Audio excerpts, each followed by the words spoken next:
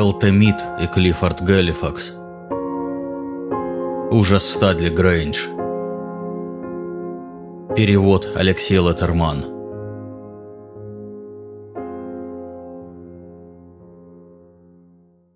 Однажды утром, когда я только что попрощался с последним своим пациентом, в приемную вошел слуга и сообщил, что некая дама настойчиво требует принять ее. «Я сказал, что вы как раз собрались уходить, сэр. Она видела экипаж у дверей, но просила уделить ей хотя бы пару минут. Вот ее визитка». На карточке я прочел «Леди Стадли». «Пригласите ее», – поспешно сказал я. И немного погодя в комнату вошла высокая, стройно сложенная, светловолосая девушка.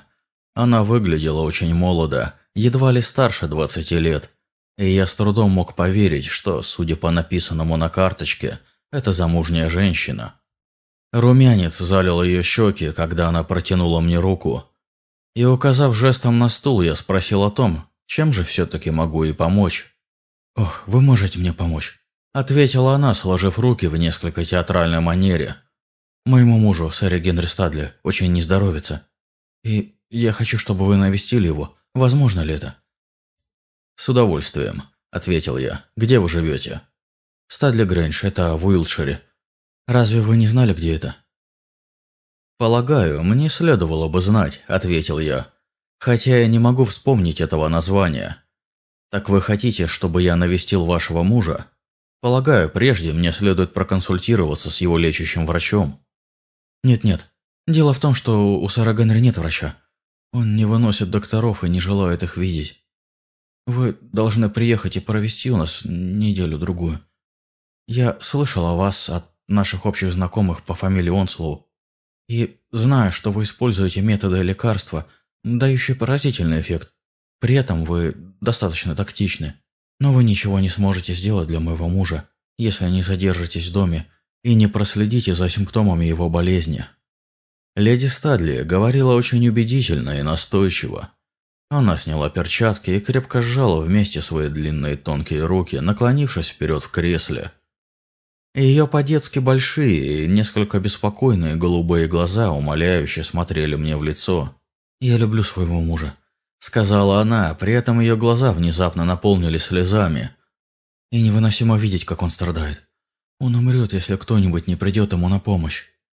О, я знаю, что прошу слишком многого, когда умоляю вас оставить всех ваших пациентов и приехать к нам. Но мы можем заплатить, деньги не имеют значения. Мы с радостью будем платить за ваши услуги». «Я должен обдумать это предложение», – ответил я. «Вы льстите, уповая на меня и веря, что я могу оказать вам необходимую помощь. Но я не могу согласиться на такой шаг в спешке и пришлю вам ответ сегодня вечером – если вы сообщите мне свой адрес. А пока будьте добры, расскажите о симптомах болезни сэра Генри». «Боюсь, что это душевная болезнь», – сразу же ответила девушка. «Но она имеет столь необычный характер, что если в ближайшее время Генри не получит помощи, то его тело уступит ее натиску. Вы видите, что я очень молода, доктор Галифакс. Быть может, я выгляжу моложе, чем есть на самом деле. Мне 22 года. Мой муж на 20 лет старше меня. Однако большинство людей сочли бы его все еще молодым человеком. Он большой эрудит и всегда имел некоторую склонность к затворничеству. Он любит проводить время в своей библиотеке, и ничего не доставляет ему столько же удовольствия, как находиться в окружении всевозможных книг. Каждая новая книга, заслуживающая внимания, присылается ему издателем. Он очень интересный человек и блестящий собеседник. Но, возможно, мне следовало бы сказать обо всем этом в прошедшем времени, поскольку сейчас он почти никогда не разговаривает, ничего не читает. Его трудно убедить поесть, он не выходит из дома. Раньше у него был здоровый румяный цвет лица. Сейчас же он смертельно бледен и ужасно истощен. Он тяжело вздыхает и, кажется, пребывает в состоянии крайнего нервного напряжения. Он очень болен. И хотя у него нет никаких явных признаков телесной болезни, в его глазах читается выражение ужасного испуга, а руки дрожат так, что он едва может поднести чашку чая к губам. Словом, он похож на человека, который увидел привидение.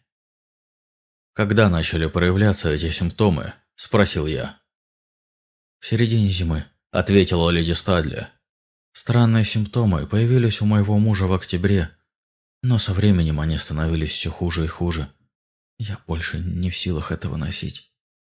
Продолжала она, дав волю короткому истерическому всхлипу.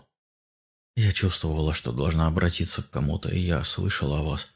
Придите, придите и спасите нас. Придите и узнайте, что же случилось с моим несчастным мужем. Я напишу вам сегодня вечером, сказал я как можно более успокаивающим голосом, потому что просьба хорошенькой и встревоженной девушки тронула меня. Скорее всего, я не смогу остаться в Стадле Грэндж на целую неделю, но обещаю приехать. Одного визита, полагаю, будет достаточно, поскольку то, что требуется вашему мужу, без сомнения, это полная перемена обстановки. «О да», – ответила она, поднимаясь со стула. «Я предлагала ему это много раз, но ничто не способно заставить сэра Генри покинуть усадьбу.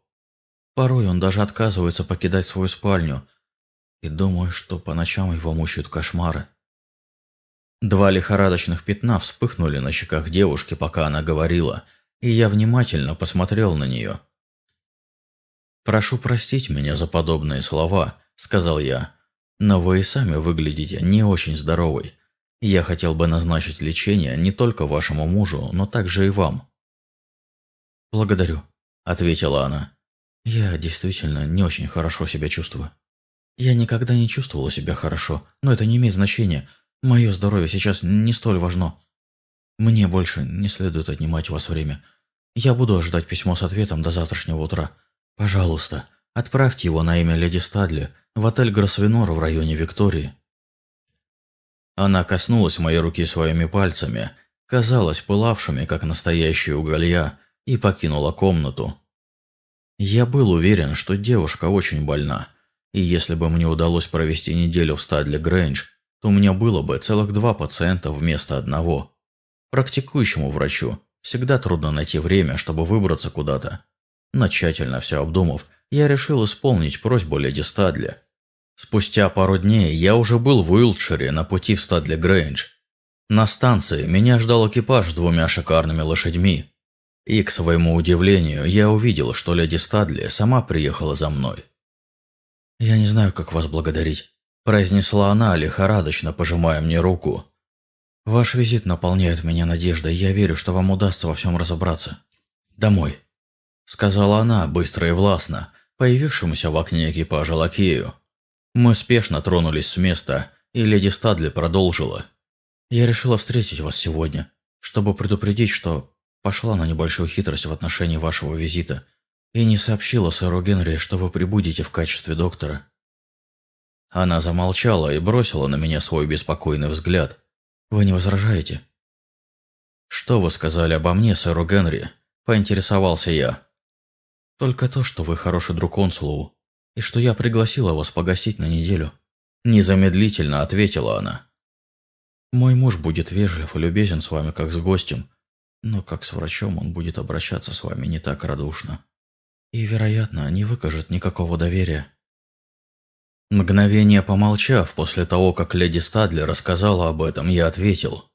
«Если бы я знал, что мне придется приехать в ваш дом не в качестве доктора, то я бы передумал о своем искреннем желании помочь вам». Девушка побледнела, когда услышала это, и слезы выступили на ее глазах. «Неважно», – сказал я, потому что меня не могло не тронуть ее невероятно жалкое выражение лица с признаками сильной болезни и появлявшимся в каждом взгляде страданием. Теперь неважно. Я рад, что вы сообщили мне, на каких условиях хотите, чтобы я предстал перед вашим мужем. Но думаю, мне удастся изложить все дело сэру Генри так, что он не будет против получить мою консультацию как врача. Ох, но он даже не знает, что я подозреваю его болезни. Ему никогда не следовало бы об этом знать. Я вижу ее проявления и переживаю – но я ничего не говорю ему. Сэр Генри был бы намного несчастнее, если бы знал, что я догадываюсь о том, что с ним что-то не так. «Я не могу приехать в Стадли Грэндж иначе, как доктор», – твердо ответил я. «Я скажу сэру Генри, что вы заметили в нем некоторые перемены и попросили меня навестить его. Пожалуйста, доверьтесь мне. Я не сообщу вашему мужу ничего такого, что могло бы поставить вас в неловкое положение». Леди Стадли больше не осмеливалась возражать, и вскоре мы подъехали к старой усадьбе.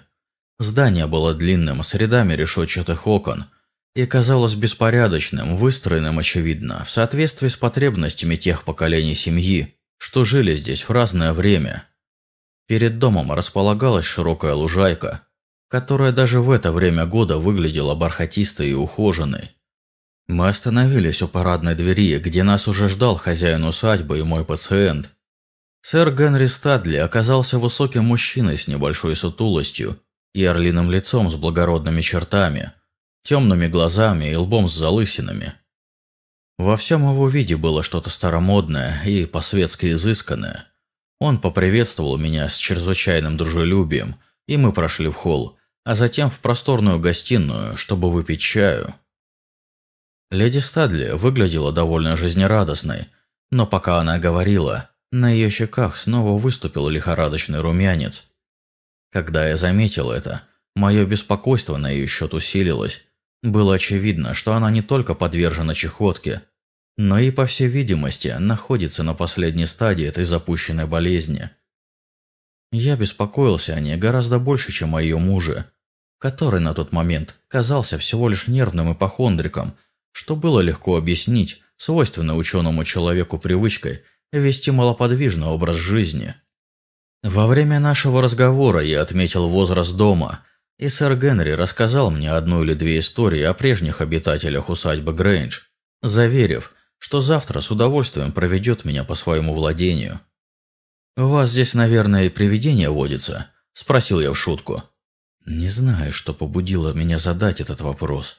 Но стоило это сделать, как сэр Генри побледнел, а леди Стадли предостерегающе погрозила мне пальцем. Почувствовав возникшее напряжение, я поспешил перевести разговор в более безопасное русло. Похоже, что по неосторожности я задел больное место, но едва ли сожалел об этом, поскольку блеск пробежавшего в встревоженных глазах баронета и крайнее волнение, отразившееся на его лице, ясно дали мне понять, что леди Стадли была права, когда говорила о том, что его нервы находится в крайне напряженном состоянии.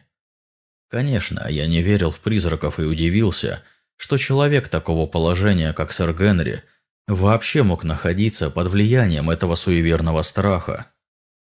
«Мне жаль, что некому составить вам компанию», – сказал он после того, как несколько банальных фраз отвлекли нас от вопроса о привидениях. «Но завтра сюда приедут несколько наших друзей, и я надеюсь, что вы приятно проведете время в их компании». Вам нравится охота?» Я ответил, что нравилось в прежние времена, до того, как все мои мысли стали занимать медицина и пациенты. Если сохранится такая хорошая погода, то я, вероятно, смогу предложить вам подходящее занятие», – возразил сэр Генри. «А теперь, должно быть, вы хотите, чтобы вас проводили в комнату?» Моя спальня находилась в современном крыле дома и выглядела настолько жизнерадостной, насколько это вообще возможно для комнаты в подобном месте. Я присоединился к своим хозяевам за обедом, во время которого мы непринужденно общались, и не произошло ничего значительного. А вскоре, после того, как слуги удалились, леди Стадли оставила меня наедине с сэром Генри. Выходя из комнаты, она бросила на меня предостерегающий взгляд. Однако я уже твердо решил рассказать об истинной причине своего визита. Как только дверь за женой сэра Генри закрылась, он встрепенулся и спросил, не возражаю ли я пройти с ним в библиотеку. «Дело в том», — сказал он, — «что я особенно рад вашему визиту и хочу поговорить о своей жене. Она крайне нездорова». Я выразил готовность выслушать все, что скажет сэр Генри, и уже через несколько минут мы расположились в великолепной старинной комнате, полностью уставленной книгами от пола до потолка. «Мои сокровища», – сказал баронет, указав рукой в сторону книжного шкафа, в котором, как я сразу заметил, находились очень редкие и ценные первые издания. Это мои друзья, спутники часов одиночества. А теперь присаживайтесь и располагайтесь, доктор Галифакс. Вы прибыли сюда как гость, но я слышал о вас раньше и склонен довериться вам. Должен заметить, что я, как правило, не выношу представителей вашей профессии. Я не верю во всеведение медиков. Но в жизни каждого человека бывают моменты, когда необходимо кому-то довериться. Скажите, могу ли я это сделать?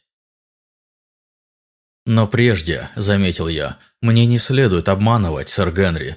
Я приехал по просьбе вашей жены, но не в качестве гостя, а как врач. Она беспокоится о вас.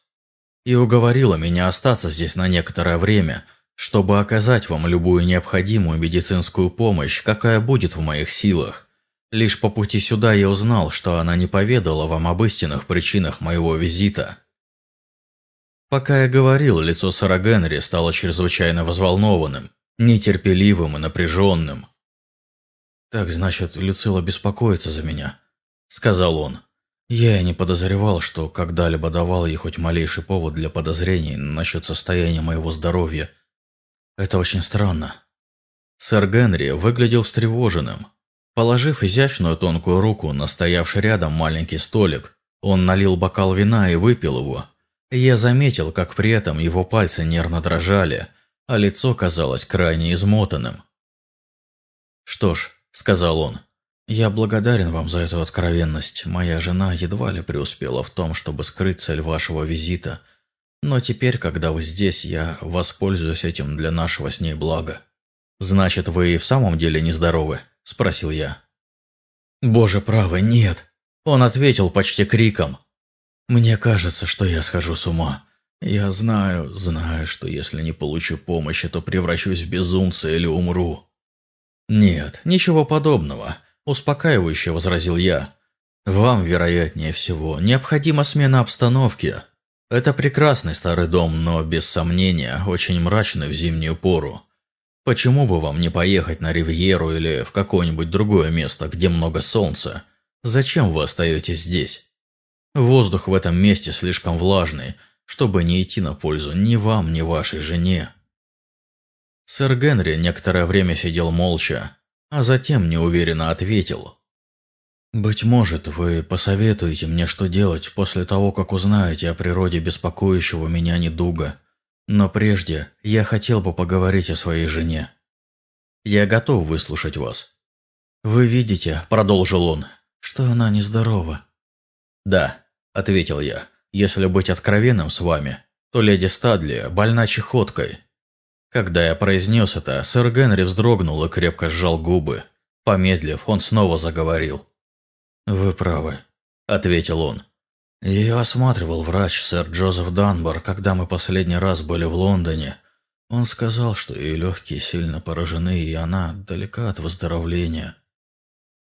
«Разве он не посоветовал вам провести зиму за границей?» Он так и сделал, но леди Стадли столь решительно воспротивилась этому, что я был вынужден уступить ее просьбам. Болезнь, похоже, принимает у нее не совсем обычную форму. Временами она становится крайне беспокойной и нуждается в свежем воздухе, поэтому совершает прогулки в довольно прохладные дни. Правда, всегда в закрытом экипаже. И все же, кроме как по ночам, она ни в коей мере не считает себя больной. Леди Стадли сильна духом, и думаю, что останется стойкой до самой смерти. «Вы говорите о том, что ее болезнь сильнее всего проявляется по ночам», – отметил я. «Каковы ее симптомы?»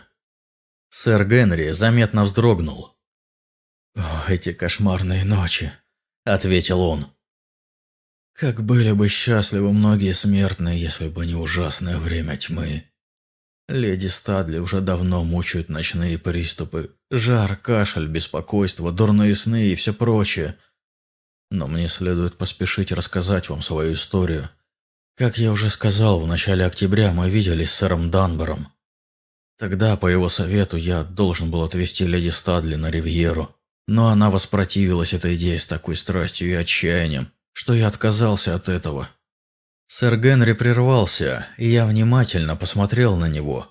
В этот момент я вспомнил, что говорила леди Статли о своем муже, который якобы ни при каких обстоятельствах не желал покидать усадьбу.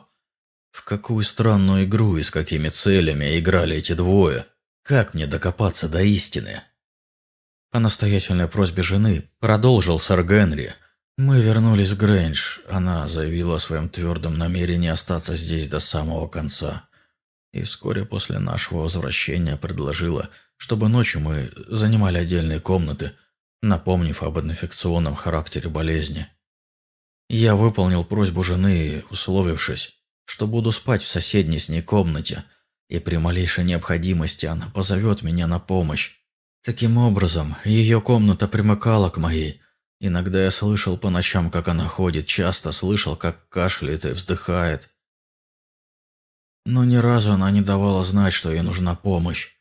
Она не хотела считать себя больной, и ничто не беспокоило ее больше, чем то, что говорили о ее болезни. Это та часть истории, которая относится к моей жене. «Она действительно серьезно больна», – сказал я. «Но об этом после. А теперь, сэр Генри, не окажете ли вы мне любезность рассказать о симптомах вашего собственного недуга?» Он снова вздрогнул, когда я это сказал, пересек комнату и, заперев дверь, убрал ключ в карман. «Может быть, вы будете смеяться надо мной», – заметил сэр Генри. «Но это не повод для смеха, уверяю вас. Ужасное несчастье постигло меня. Каждую ночь мне является жуткое видение. Вы ведь не верите в призраков. Я сужу об этом по вашему лицу. Мало кто из образованных людей верит в них». «По правде говоря, нет», – ответил я. «Как правило, так называемым призракам можно найти объяснение. В лучшем случае это всего лишь плод перевозбужденного или больного мозга». «Как бы то ни было», – сказал сэр Генри, – «больной мозг может подвергнуть свою жертву такой пытке, что смерть покажется предпочтительней. Всю свою жизнь я был тем, кого принято считать здравомыслящим человеком. У меня достаточно денег и нет забот, которым обычно подвержены негацианты или люди малообеспеченные. Когда я женился три года назад, то считал себя самым удачливым и счастливым человеком. «Простите за личный вопрос», – перебил его я. «Брак разочаровал вас?» «Нет, вовсе нет», – горячо возразил сэр Генри. «Я люблю свою дорогую жену больше и сильнее, чем в тот день, когда она стала моей невестой. Действительно, я беспокоюсь за нее. Но это всецело связано с состоянием ее здоровья. Странно, заметил я, что она тяготится переживаниями о вас по той же причине. Вы рассказывали ей о своих тревогах? Нет, я никогда не говорил об этом ни с одним смертным. Но моя жена сказала вам, будто я выгляжу как человек, увидевший привидение, и, увы, она права. Позвольте же мне рассказать вам о причине моих расшатанных нервов, о том, что мучает меня и подрывает здоровье. «Прошу вас, я внимательно слушаю», – ответил я. «О, доктор, если бы я только мог заставить вас почувствовать весь тот ужас», – сказал сэр Генри, наклонившись вперед и глядя мне в глаза. «Три месяца назад я верил в сверхъестественные явления, видения и так называемых призраков не больше, чем вы». Но если бы вы испытали то, что довелось пережить мне, то ваш собственный скептицизм был бы серьезно подорван. Позвольте же мне рассказать вам о том, что происходит. Каждую ночь мы с леди Стадли ложимся спать в одно и то же время. Мы желаем друг другу спокойной ночи и укладываемся каждый в свою постель. Дверь между нашими спальнями закрыта. В ее комнате горит ночная лампа, я же предпочитаю спать в темноте. Закрыв глаза, я готовлюсь ко сну. Я, как правило, вскоре засыпаю. Но мой сон непродолжителен. Я пробуждаюсь с покрытым испаренным лбом, сердце сильно колотится, а нервы напряжены. И, проснувшись, я ожидаю появления кошмара. Иногда жду полчаса, иногда дольше. Затем, по слабому тикающему звуку в темноте, я понимаю, что это сущность. Ибо я не могу назвать ее иначе. Вот-вот посетит меня. В определенном месте комнаты, всегда в одном и том же, внезапно вспыхивает яркий свет, а в самом его центре возникает неестественно большой глаз, который пристально смотрит на меня с дьявольским выражением. По времени это длится недолго, но охватывающий меня страх, как кажется, уносит с собой годы жизни. Затем видение исчезает так же внезапно, как и появилось, меркнет и растворяется во тьме. Я же мокрый от пота, накрываясь одеялом с головой, стараясь изо всех сил сдержать крик безумного ужаса. «Но вы никогда не пытались разобраться в природе этого явления?» – спросил я. Сначала я так и поступил. В первую же ночь, когда оно появилось, то я вскочил с постели и направился к нему. Видение сразу же исчезло. Я зажег свет, но в комнате уже ничего не было. Почему же вы продолжаете спать там? Я не должен покидать леди Стадли. Меня пугает, что она узнает об этом, но еще больше меня страшит то, что вместо меня призрак может явиться ей. Осмелюсь предположить, что вы посчитаете меня глупцом, доктор Галифакс. Но дело в том, что все это убивает во мне храброго человека, каким я привык считать себя. «Вы наблюдаете это явление каждую ночь?» – спросил я. «Не совсем. Но иногда в одну и ту же ночь оно появляется дважды. Иногда этого не происходит в течение двух, а то и трех ночей. Это самая ужасная, самая жуткая форма пытки, какая может свести даже самого здравомыслящего человека в могилу или сумасшедший дом». «У меня нет ни малейшей тени сомнения», – сказал я после некоторой паузы, что всему можно найти разумное объяснение. «Нет», – возразил сэр Генри, покачав головой. «Либо это, как вы утверждаете, порождение моего больного мозга, и потому оно так же ужасное, как настоящее привидение, либо сверхъестественное явление». Существует оно в действительности или нет, неважно. Для меня это не сон, а реальность. Весь ужас я испытываю, находясь в полном сознании. Как вы полагаете, может ли кто-то разыгрывать с вами эту чудовищную шутку? Предположил я. Конечно же нет. В чем смысл пугать меня до смерти? Кроме того, я могу поклясться, что в комнате никого нет, наружная дверь заперта, как и дверь в комнату леди Стадли. Невозможно, чтобы все это было каким-то обманом. С минуту мы молчали. Я верил в призраков не больше, чем когда-либо, и подозревал, что за всем этим кроется злой умысел. Сэр Генри, должно быть, стал жертвой галлюцинации, вызванной функциональным нарушением мозга и достаточно серьезным, требующим немедленного лечения. Первое, что следовало сделать, это выяснить, можно ли дать явлению какое-либо материальное объяснение, или же оно вызвано исключительно состоянием нервов сэра Генри. Я начал задавать ему определенные вопросы, полностью вникая во все тонкости дела – а затем осмотрел его глаза с помощью офтальмоскопа. В результате этого обследования я убедился, что сэр Генри Стадли находится в крайне нервозном состоянии, хотя я не смог обнаружить никаких следов заболевания мозга. «Не могли бы вы показать мне свою комнату?» – спросил я. «Не сегодня», – ответил он. «Уже слишком поздно, и это может вызвать подозрение у леди Стадли. Цель моей жизни – скрыть от нее весь этот ужас. А потому, когда завтра она уйдет на прогулку, вы сможете осмотреть комнату. «Хорошо», – сказал я. «Завтра я поговорю с вашей женой и самым решительным образом уговорю ее на время покинуть усадьбу». Вскоре после этого мы удалились на покой, или то, что называлось покоем в этом мрачном доме, с его беспокойными обитателями. Должен признаться, что какой бы удобной ни была моя комната, я спал очень плохо. История сэра Генри не оставляла меня на протяжении всей ночи. И хотя я не впечатлителен и не обладаю богатым воображением, но мне не удалось отделаться от навязчивого видения ужасного глаза даже во сне. Я встретился со своими хозяевами за ранним завтраком. Сэр Генри предложил мне познакомиться с соседями, поскольку день выдался теплым и погожим – Однако я был совсем не расположен к прогулке и прямо заявил, что предпочел бы остаться в Грейндж. Один взгляд на лица моих хозяев давал понять, что у меня на руках сразу два нуждающихся в помощи пациента. Леди Стадли выглядела ослабевшей и взволнованной. Пятна лихорадочного румянца на ее щеках, болезненный блеск в глазах, пересохшие губы, бледные и исхудавшие руки.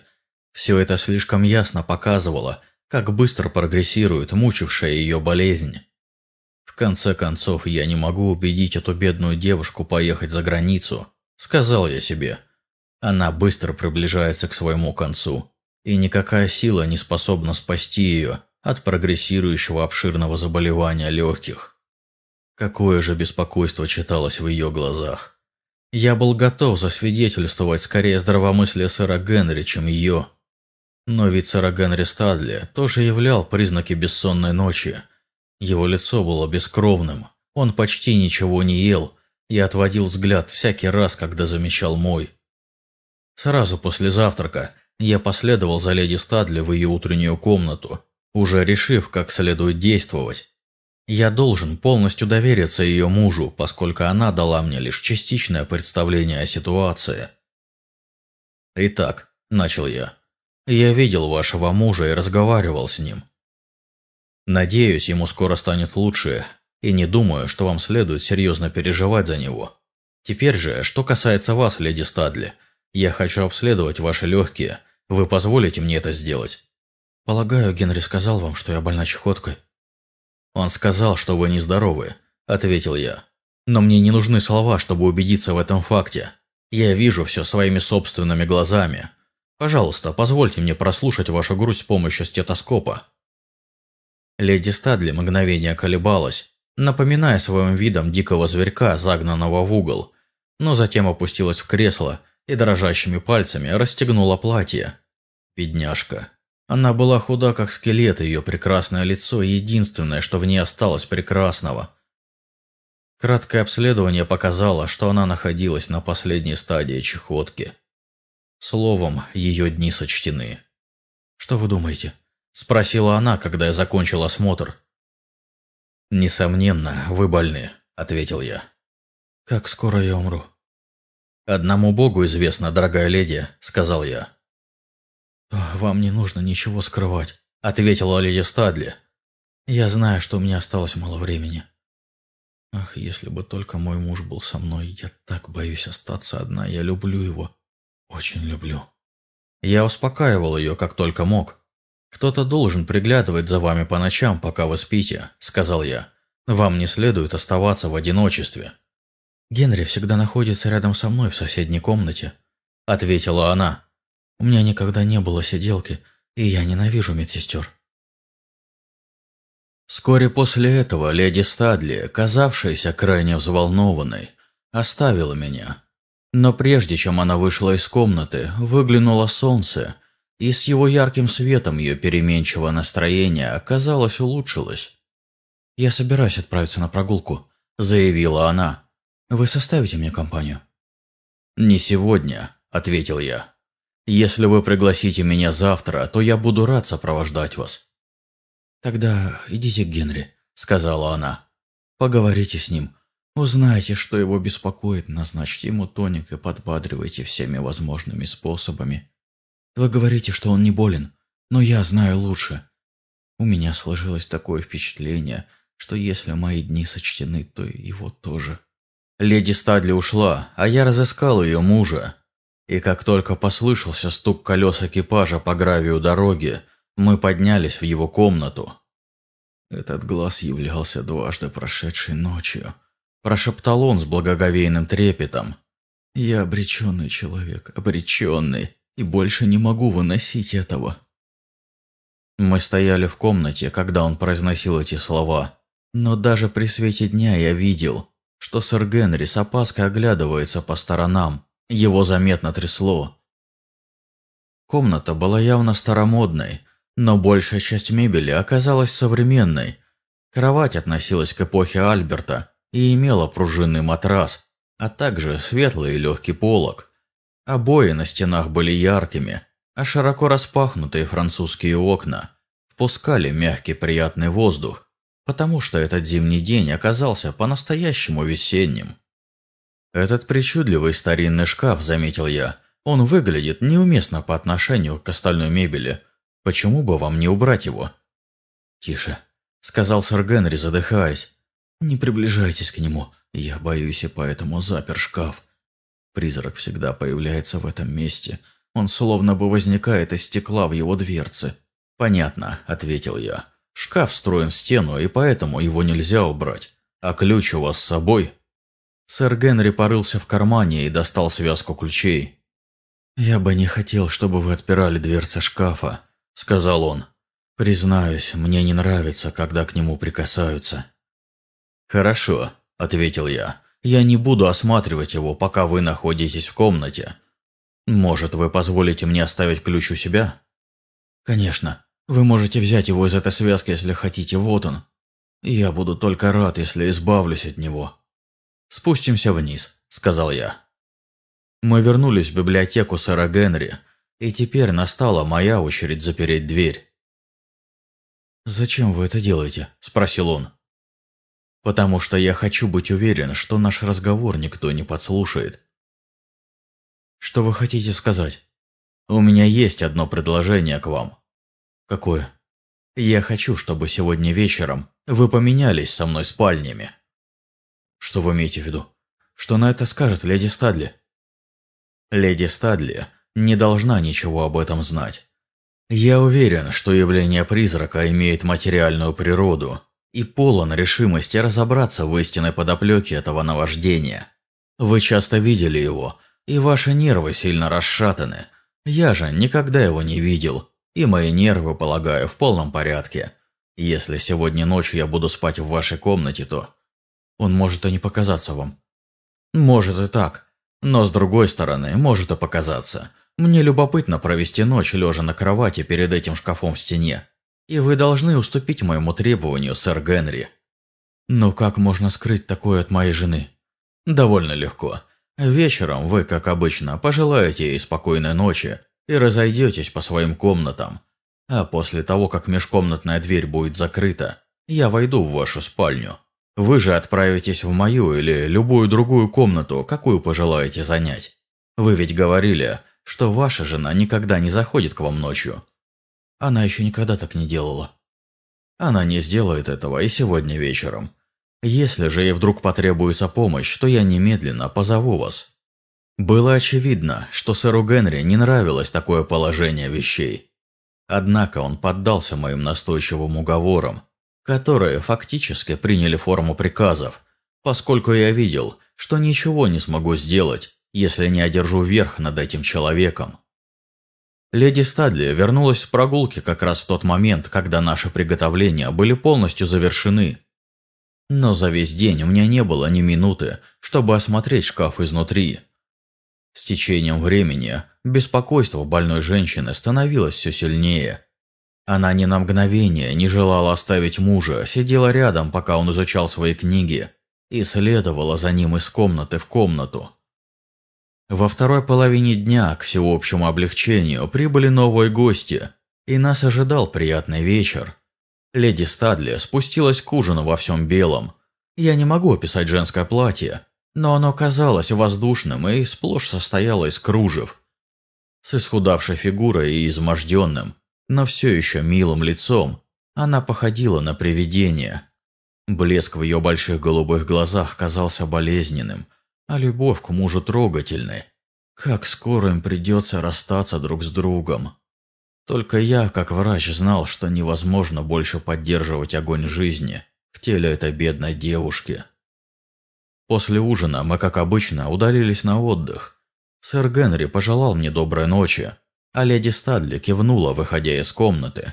«Спите спокойно», – сказала она веселым голосом. На следующее утро, когда мы все собрались за завтраком, было уже довольно поздно. Сэр Генри выглядел лучше, но леди Стадли казалась гораздо хуже, чем накануне вечером. Меня поразила стойкость, с которой она заняла свое место во главе стола. Гости, время от времени входившие и занимавшие свои места за столом, смотрели на нее с удивлением и состраданием. «Наша хозяйка очень больна, не так ли?» – спросил гость, сидевший рядом со мной. «Да, но не обращайте на это внимания», – ответил я. Вскоре после завтрака я разыскал сэра Генри. «Так что же, доктор Галифакс, вы видели это?» – сказал он, пожимая мою руку. «Я знаю, что видели по выражению вашего лица». «Да», – ответил я.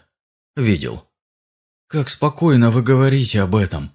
Разве вы не испытали ужас перед этим явлением?» «Нет», – усмехнулся я. «Вчера я сказал вам, что мои нервы в порядке, и думаю, что мое предположение было верным. Видение имеет материальную основу». Выражение недоверия выразилось на лице сэра Генри. «Ах, врачей слишком сложно убедить», – сказал он. «Все должно быть сведено к трезвому материализму, чтобы удовлетворить их. Но несколько ночей в этой комнате расшатали бы даже ваши нервы, мой друг». «Вы совершенно правы», – ответил я. «Мне не хотелось бы больше спать в той комнате, но позвольте мне вкратце рассказать вам о произошедшем. Мы стояли в библиотеке. Сэр Генри подошел к двери, запер ее и убрал ключ в карман. «Могу я войти?» Раздался голос снаружи, принадлежавший леди Стадли. «Через минуту, дорогая», – проговорил ее муж. «Я сейчас беседую с доктором Галифаксом». «По медицинскому вопросу, полагаю?» – спросила она. «Да, по медицинскому», – ответил он. Леди Стадли сразу же ушла, а сэр Генри вернулся ко мне. «Теперь говорите скорее», – сказал он. «Жена обязательно вернется, и мне не нравится, что она подумает, будто бы мы секретничаем». «Моя история такова», – начал я. «Я вошел в вашу комнату, погасил весь свет и сел на край кровати». «Значит, вы не ложились в постель?»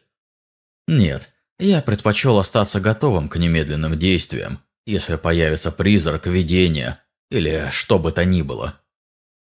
«Боже милостивый, это просто кошмар, Галифакс», так и есть, сэр Генри. Вряд ли можно придумать более дьявольский способ, чтобы свести человека в могилу. Однако я могу утешить вас в одном. То, что вы видели, не является плодом вашего воображения, и нет никакой вероятности, что вы окажетесь в сумасшедшем доме. Кто-то дурачит вас. Я не могу согласиться с вами, но продолжайте. Нетерпеливо сказал баронет. «Около часа я просидел на краю кровати», – продолжил я. Когда я вошел в комнату, было 12 часов. Затем, еще до того, как появилось хоть малейшее движение или проявление чего-либо, отчетливо послышался тикающий звук, который вы описывали. Вслед за этим внезапно появился яркий свет, который, казалось, исходил из самой глубины шкафа. «Что вы почувствовали, когда увидели этот свет?» «Я был слишком взволнован, чтобы испугаться», – коротко ответил я. Из круга света на меня смотрел жуткий глаз. «Что случилось после? Вы лишились чувств?» «Нет. Стараясь не шуметь, я прошел по ковру к двери шкафа и заглянул внутрь». «Боже мой, вы смельчак. Я удивлен, что вы остались живы, чтобы рассказать эту историю». «Внутри я увидел призрачную фигуру», – продолжил я. «Темную высокую, единственный светящийся глаз которой продолжал смотреть мимо меня прямо в комнату. Когда же я издал тихий звук, он тут же исчез.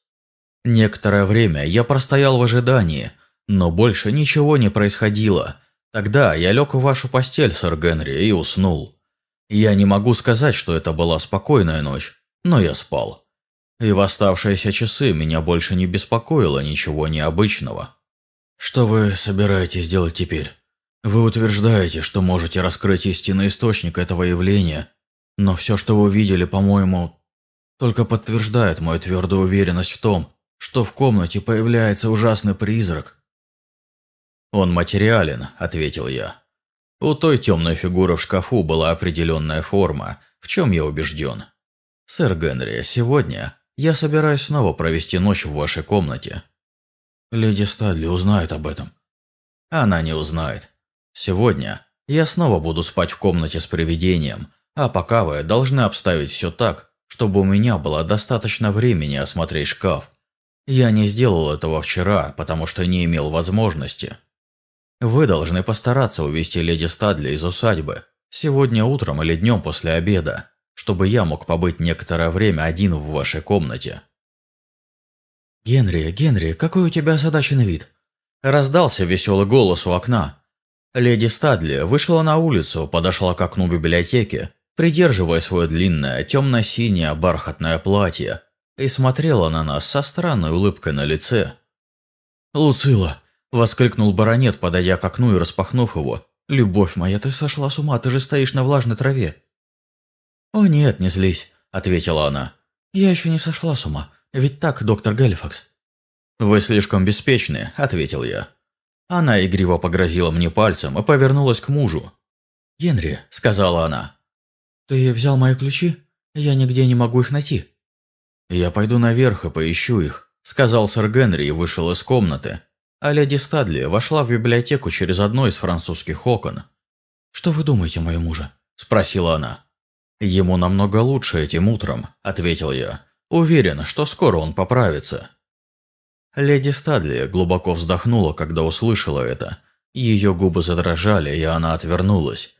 Я полагал, что новость обрадует ее. Но это разочарование удивило меня. В этот момент в комнату вошел сэр Генри. «Вот твои ключи», – сказал он жене, отдав ей ту же связку, что и мне накануне вечером. Я надеялся, что она не заметит пропажи ключа от шкафа. «А теперь я хочу, чтобы ты отправилась на прогулку вместе со мной», – сказал сэр Генри. Он нечасто сопровождал леди Стадли, и удовольствие от этого неожиданного предложения явно обрадовало ее. «Очень хорошо», – ответила она. «Доктор Галифакс присоединится к нам?» «Нет, он хочет проехаться верхом». «Если он поедет верхом, то сможет следовать за нашим экипажем». «Вы сделаете это, Галифакс?» – спросил мой хозяин. «Благодарю, но нет», – ответил я. «Прежде мне нужно написать несколько писем, а затем я поеду в ближайший город и отправлю их, если позволите». С этими словами я вышел из комнаты. Вскоре после этого я увидел из окна, как сэр Генри и его жена отбыли. Они ехали в большом открытом ландо в сопровождении двух девушек, что жили в доме. Мой час настал, я сразу же поднялся в спальню сэра Генри – Спальня леди Стадли располагалась рядом с ней, но обе комнаты имели отдельные входы. Я запер наружные двери, а затем начал поиски. У меня в кармане лежал ключ от шкафа. Его замок немного заржавел, и было очевидно, что тяжелые дверцы уже долгое время не открывали, а потому отпереть их оказалось непросто. Обе дверцы были стеклянными и в закрытом виде напоминали обычное старомодное окно с толстым, особого светло-голубого оттенка стеклом, вставленным в глубокую раму. Я открыл дверцы и забрался внутрь шкафа, оказавшегося достаточно вместительным, чтобы в нем можно было разогнуться в полный рост. Внутри шкаф был совершенно пуст и обшит массивом дуба. Я зажег свет и начал внимательно осматривать его стенки. После долгого и терпеливого осмотра я наткнулся на малоприметную выемку в дереве. Стоило надавить на нее пальцем, как тут же небольшая панель отодвинулась в сторону, открыв под собой скрытую кнопку. Я нажал на нее, и дверца в задней части шкафа распахнулась. Из нее хлынул поток солнечного света, и, выйдя наружу, я оказался в другой комнате. Я с удивлением огляделся. Это была спальня леди Стадли – Боже мой, что произошло? Очень осторожно закрыв потайную дверцу шкафа, я обнаружил, что все следы ее существования были тут же скрыты. У этой части стены не было никакой мебели. Она выглядела абсолютно ровной и гладкой. Ни одна картина не украшала ее, а рисунок на легких обоях казался совершенно целым. Конечно, где-то должна была быть скрытая дверца, и я, не теряя времени, принялся нащупывать ее, прижав руку к стене и двигаясь кончиками пальцев во всех направлениях. Однако, как ни старался, я не смог найти дверцу, и мне пришлось покинуть комнату леди Стадли, чтобы вернуться в ту, которую занимал ее муж, через обычную дверь. Я снова забрался в шкаф и намеренно сломал кнопку, открывавшую потайную дверцу изнутри. Любой, кто теперь проникнет через нее в шкаф, не сможет вернуться обратно. Призрак, если он действительно материален, окажется пойман в собственную ловушку. Что же все это могло значить? Если сэр Генри стал жертвой галлюцинации, то и я тоже. А поскольку это невозможно, я был уверен в том, что призрак имел материальную природу. Но кем был тот человек, который знал о потайном проходе в стене?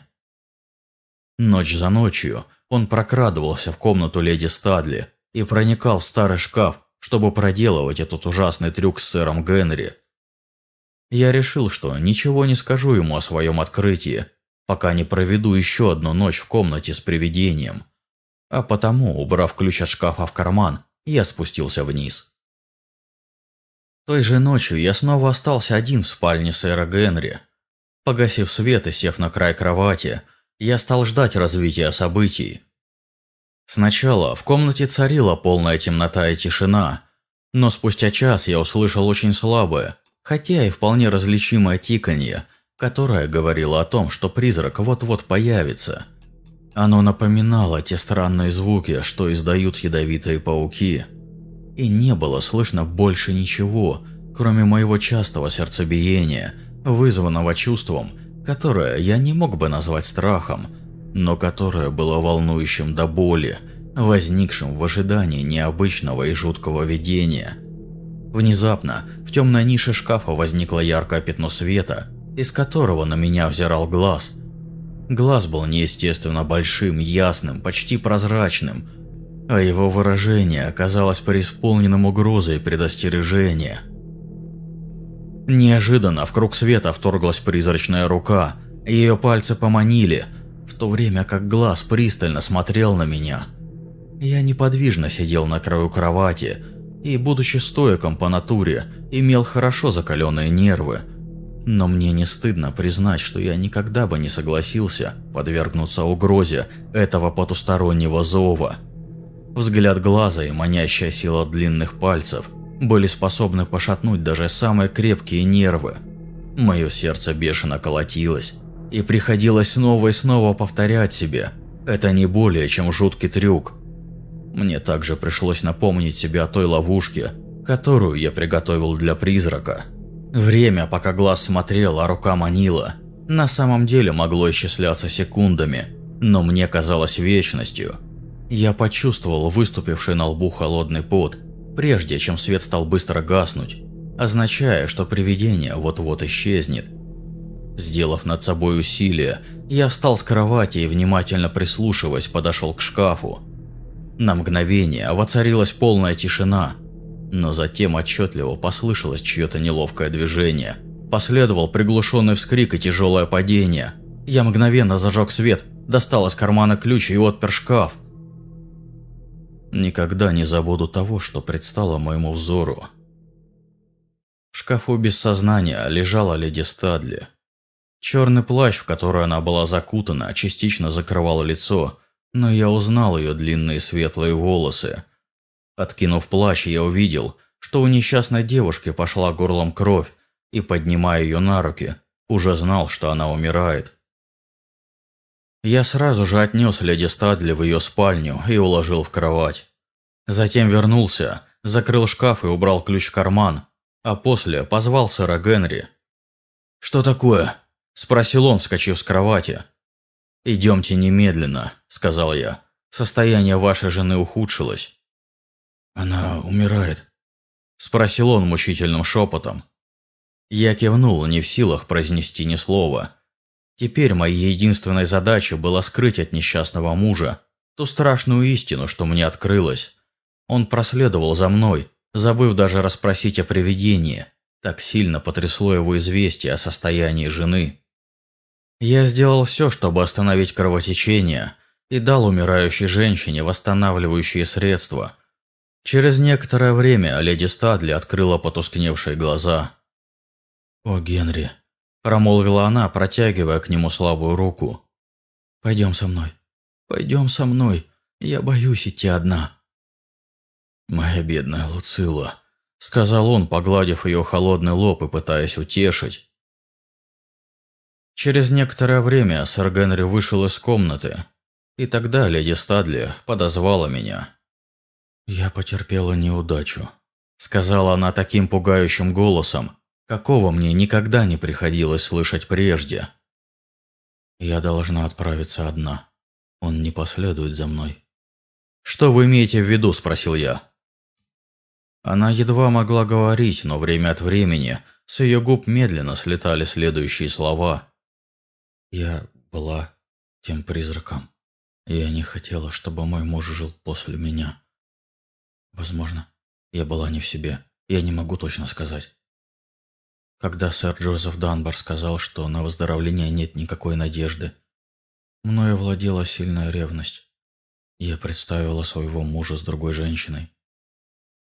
Наклонитесь ближе. Ее голос был очень слабым. Я едва мог расслышать тихое бормотание. Взгляд леди Стадли быстро тускнел, смерть овладевала ею.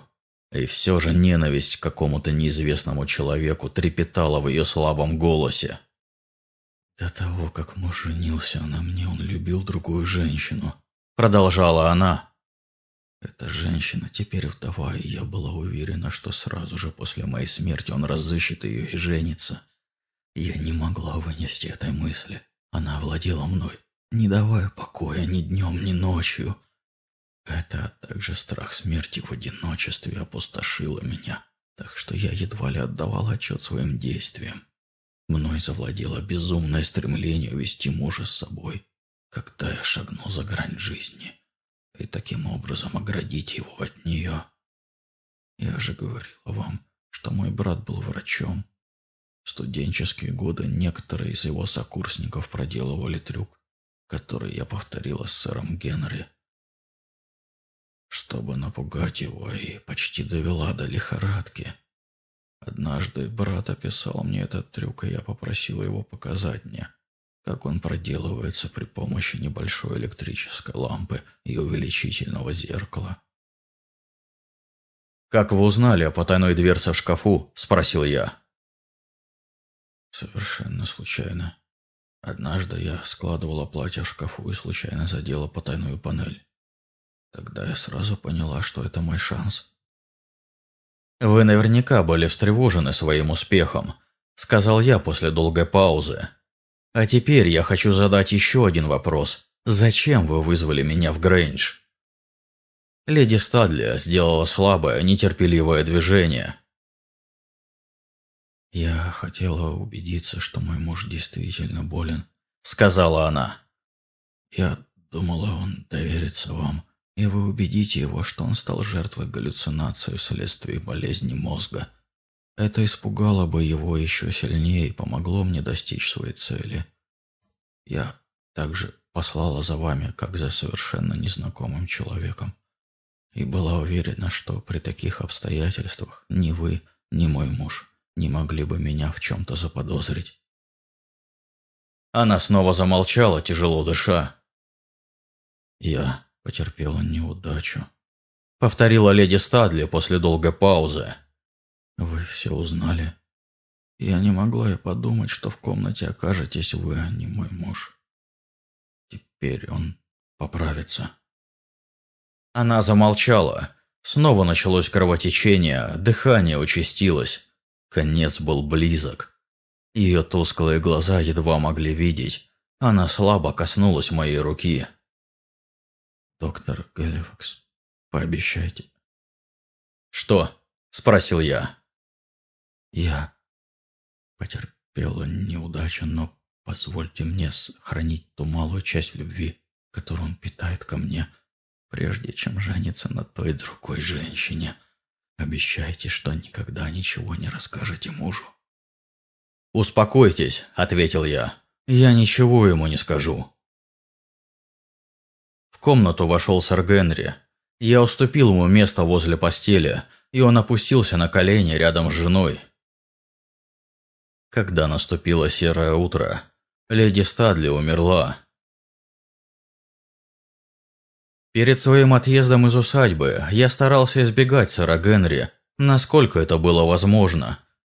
Однажды он заговорил о призраке и спросил, видел ли я его. «Да», – ответил я. Но прежде чем я успел сказать что-либо еще, он продолжил. «Теперь я знаю, почему он являлся. Он предупреждал меня о скорой смерти моей несчастной жены». Больше он не проронил ни слова. Я не мог открыть ему истину, и вряд ли он когда-нибудь узнает обо всем. На следующий день я покинул Стадли Грейндж. С собой я забрал, никого не ставя в известность, длинный черный плащ, небольшую электрическую лампу и сильное увеличительное зеркало. Возможно, будет интересно объяснить, как леди Стадли в ее нездоровом состоянии ума и тела совершала необычный трюк, с помощью которого надеялась подорвать здоровье своего мужа и в конечном счете свести его в могилу.